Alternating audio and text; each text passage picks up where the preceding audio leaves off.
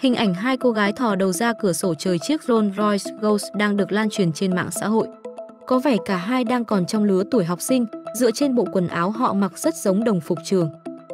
Đoạn video không cung cấp chi tiết chính xác về vị trí chiếc xe bị phát hiện, nhưng nhìn vào biển số, có vẻ đó là Mumbai, Ấn Độ.